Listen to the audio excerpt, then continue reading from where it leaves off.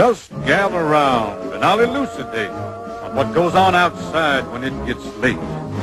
Long about midnight, the ghosts and banshees, they get together for their nightly jamboree. There's things with horns and saucer eyes, some with fangs about this size. Some are fat and some are thin. And some don't even wear their skin. Oh, I'm telling you, brother, it's a frightful sight to see what goes on Halloween night. Oh, when spooks have a midnight jamboree, they break it up with fiendish glee. Ghosts are bad, but the one that's cursed is the headless horseman. He's the worst. That's why he's mad on Halloween night. But when he goes a jogging across the land, holding a noggin in his hand, demons take one look and groan and hit the road for parts unknown. Beware, take care, he rides alone. And there's no spook like spook could spur. They don't like him and he's really burned. He swears to the longest day he's dead. He'll show them that he can get ahead. They say he's tired of his flaming top.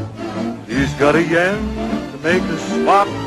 So he rides one night each year to find a head in the hollow here. Now he likes them little, he likes them big. Or in the middle or awake. Black or white or even red. The headless horseman needs a head with a hip, hip, and a clippity clap.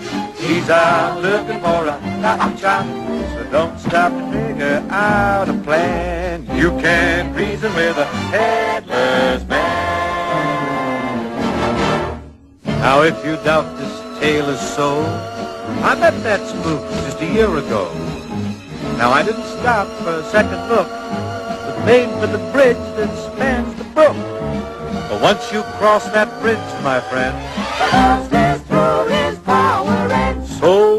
you're riding home tonight, make for the bridge with all your might.